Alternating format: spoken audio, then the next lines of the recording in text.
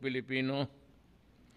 I am addressing you once again uh, about the problem of uh, COVID pandemic. It is getting worse. So, once again, I'm telling you the seriousness of the problem and that you must listen. We are awaiting uh, for God's blessing na magkaroon tayo ng vaccine either from sino dyan na bright boy, China, Russia, America. I'm sure ka kung meron na sila, they will share it with the rest of the world. In the meantime, habang naghihintay tayo, marami hong problema na pumuputok na. Hirap na nga tayo, wala ng trabaho, walang negosyo, and there are people really, uh, you know, you you try to mess up with uh, yung kukunti nating ang ating supply hanggang dyan lang yan, yung inabot. Kasi hindi natin alam ganun kabilis. Uh, in two days time, patay ka. So, uh, we are trying to manage na lahat magkaroon equally. Equally is equally. Pera pati pagkain. Ano yung parte ko, parte mo yan. Pero maghintay kayo. Huwag ninyong gamitin ang puwersa. I'm addressing the left na yung pangbabastos ninyong slamming about uh, the distribution. Remember, kayong mga left, you are not the government. E, naintindihan ninyo yan? Hindi kayo nasa gobyerno and you cannot be a part of what we are planning to do for the nation. Intindihin ninyo yan. Kaya huwag kayong maggawa ng kalukuhan at mag magrayot-rayot dyan because I will order you detained at bibitawan ko kayo pagkatapos na wala na itong COVID. Huwag ninyo huwag ninyong subukan ang Pilipino. Do not try to test it. Alam mo, we are ready for you. Gulo o barilan o patayan, I will not hesitate my soldiers to shoot you. I will not hesitate to order the police to arrest and detain you. Ngayon, pag kayo ang na-detain, bahala kayo sa pagkain ninyo. Kasi ibigay ko doon sa mga luko-luko kagaya ninyo, panggulo, ibigay ko na lang yon sa mga matino pati nangangailangan. Huwag ninyo akong takutin ng gulo-gulo kasi kung gusto talaga ninyo ng gulo, guguluhin natin ang bayan natin. Total, wala pa naman pagkain, kung gusto ninyo ng barilan, oh, di sige. Gusto ninyo ng pukpukan, sige. I will not hesitate. My orders are sa police pati military, pati mga barangay, na pagka ginulo at nagkaroon ng okasyon na lumaban at ang buhay ninyo ay na nalagay sa alanganin, shoot them dead. Tindahan niya, patay. Eh, kaysa maggulo kayo dyan, di ilibing ko na kayo. Ayun, libing akin yan. Huwag ninyo subukan ang gobyerno kasi itong gobyerno na ito hindi inutil.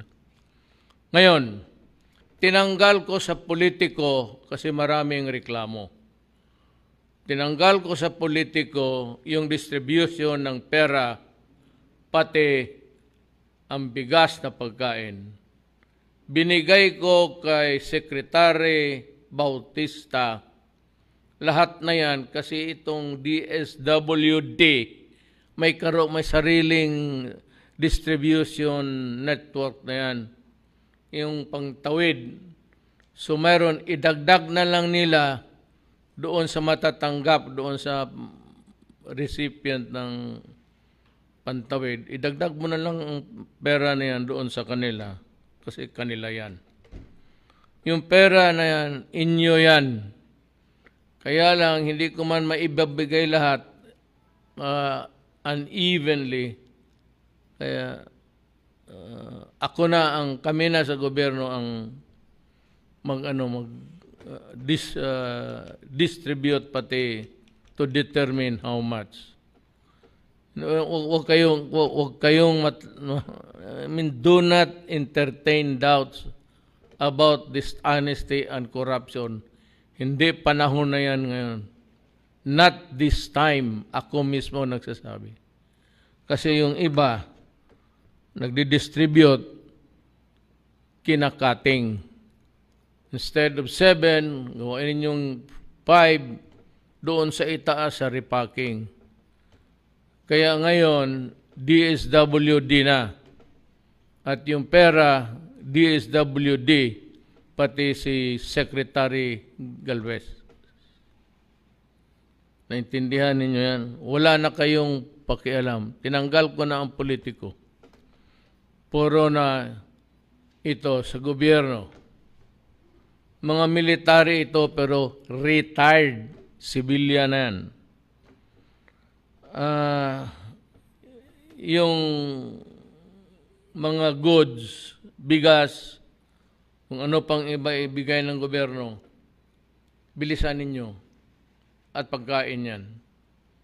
At mayroon tayo, sabi ko, mayroon tayong ginawang mga hakbang na to sustain us, but only if there is order in the society. Kasi pag maggulo, walang order, walang distribution na mangyari, mangyari, kasi inaagaw, inaambos. Kaya mapipilitan ako na sabihin, wag na wag ninyong gawin yan kasi I will not hesitate to order to shoot you. Ah, uh, yun namang mga uh, repacking. Well, anyway, it's uh, DSWD. But everybody else connected with the uh, exercise of uh, preparing the food and money, huwag ninyong kaltasan, huwag ninyong kunan. I will not, hindi ko kayo, cook, uhulihin ko kayo, and I will detain you. Makalabas lang kayo pagkatapos ng COVID kung dadating. Kung may da, walang magdating na pangkontra sa ng COVID, then hanggang matapos itong mundong ito, dyan ka sa kulungan. Yan ang gusto mo, nag-warning na ako, gagawain mo pa rin, edi gusto mo. Hiningi mo yan eh. Hiningi mo yan. Ang pera dadating, ang pagkain dadating, wag lang kayong magulo para smooth. Sa Bisaya pa hapsay. Ayaw o hadlo ka ang gobyerno. Do not intimidate government. Do not challenge government. Matatalo kayo. Sigurado. Magtiis na lang siguro kayo ng delayed delivery. Pero dadating yan at hindi ka magugutom hindi ka mamatay sa gutom. Uh, ito namang isa, itong mga trabahante, mga doktor, mga nurse, health workers, attendants and all, eh, hindi makauwi ng bahay, tinatapunan ninyo ng kung ano-anong mga chemicals na nakakasira ang katawan. Mas una silang mamatay kayong ng, sa pasyente doon sa COVID. Yung mga tao na gumagawa ng ganon, I am ordering the police to go around. Huwag kayong mag-standby dyan sa istasyon. Maglakad kayo, tandem, at maghanap kayo ng mga taong bastos.